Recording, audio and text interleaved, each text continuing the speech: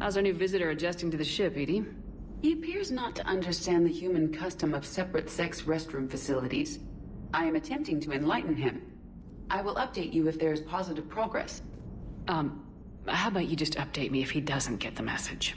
Very well.